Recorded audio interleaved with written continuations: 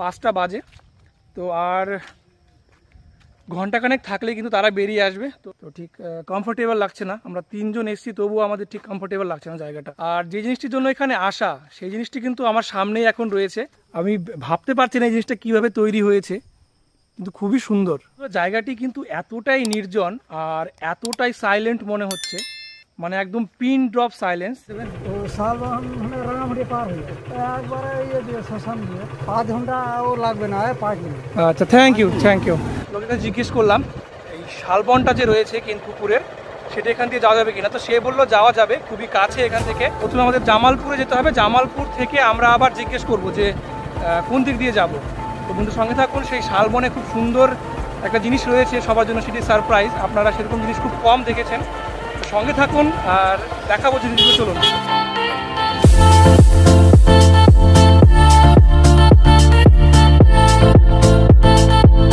তো গাছ দেখতে পাচ্ছেন পুরো ঘন বনের মধ্যে ঢুকে গেছি। এত সুন্দর লাগছে জায়গাটা।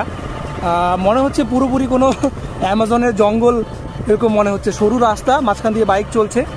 খুবই সুন্দর লাগছে জায়গাটা।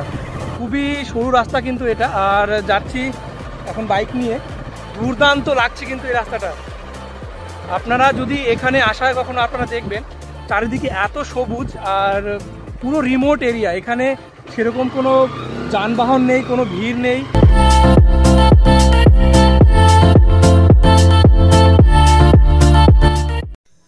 এটি কেন্দপুকুর শালবন।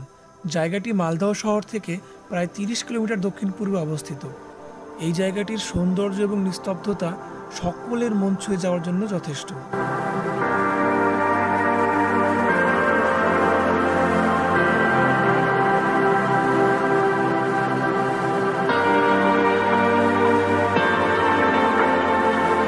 বন্ধুরা ফাইনালি কিন্তু আমরা সেই শালবনে পৌঁছে গেছি। দেখতে পাচ্ছেন পেছনে পুরো জঙ্গল, একদম শাল গাছ রয়েছে, পুরোটা ভর্তি। আর যে জিনিসটির জন্য এখানে আসা, সেই জিনিসটি কিন্তু আমার সামনেই এখন রয়েছে। আর পেছনেও দেখতে পাচ্ছেন আর এই দেখতে পাচ্ছেন, এটি হচ্ছে কিন্তু উই ঢিপি।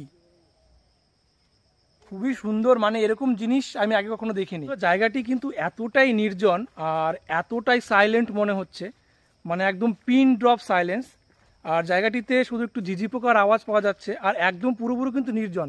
মানে দূর দূর পর্যন্ত কোথাও একটা মানুষের দেখা নেই, এতটাই নির্জন। তো জায়গাটি একটু রহস্য রহস্য মনে হচ্ছে রহস্যে ঘেরা, আর একটু কিন্তু ভয়ও লাগছে জায়গাটিতে। তো আপনার যদি এখানে আসা হয়, একটু সাবধানে আসবেন, আর পারলে একটা গ্রুপ বানিয়ে আসবেন, একা আসার চেষ্টা করবেন না। আচ্ছা বনটি কিন্তু পুরোটা ঘোরা সম্ভব নয়, এতই বড় ফরেস্টটা মানে যতদূর চোখ যাচ্ছে, পেছনে পুরো বন আর বন মনে হচ্ছে। আর এত জোরে কথা বলছি কেউ কিন্তু শুনতে পাচ্ছে না। মানে এখানে এতটাই নির্জন। মানে কেউ শোনার লোক নেই।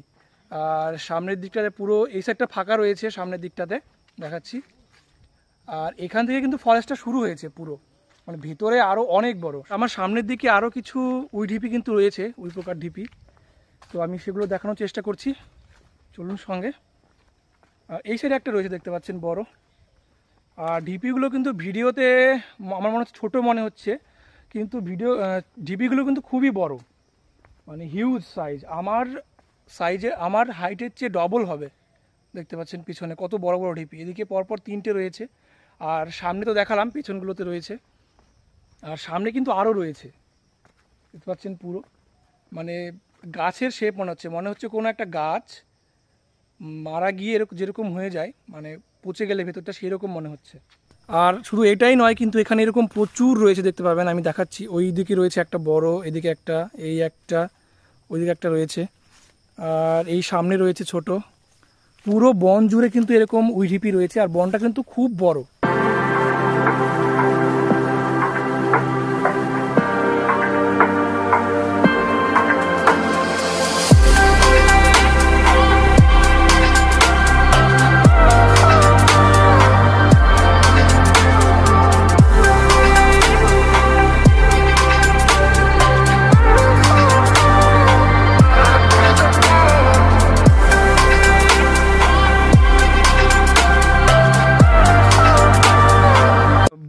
কিন্তু বিশাল বড়। এই শালবন সচরাচর এত বড় বন দেখা যায় না আমাদের মালদায়। খুবই বড় বন। আর এতটাই নির্জন পুরোপুরি পুষ্পা মুভি দেখেছিলাম। পুষ্পা মুভিতে যেরকম বন দেখানো হয়েছিল তো সেরকম মনে হচ্ছে যে সেই সেই রকম বন, গা ছমছমে ব্যাপার। খুবই সুন্দর লাগছে জায়গাটি। জায়গাটি আমি লোকেশন ড্রপ করে দেবো গুগল ম্যাপের কি করে এখানে আসবেন। তো কেন্দ্রপুকুর থেকে খুবই কাছে জায়গাটি। কেন্দ্রপুকুর থেকে আপনি আসতে পারবেন। আহ, কেন্দ্রপুকুর থেকে মেনলি এখানে রিমোট এরিয়া এখানে সম্ভবত রুটের গাড়ি পেয়ে যাবেন টোটো পেয়ে যাবেন সম্ভবত কেনপুকুর থেকে। কারণ আমি এটা মেন রোড থেকে খুবই কাছে ওয়াকিং ডিস্টেন্সে তো মেইন রোডে কিছু গাড়ি আমি দেখলাম যে ওখানে কিছু গাড়ি রয়েছে। তো আপনারা চাইলে এখানে আসতে পারেন। মেনলি বাইক নিয়ে আসলে খুব ভালো হয় কারণ কিছুটা হাঁটতে হবে আপনাকে মেন রোড থেকে এখানে আসতে গেলে। তো আপনাদের আমি সাজেস্ট করব আপনারা বাইক নিয়ে এখানে আসবেন।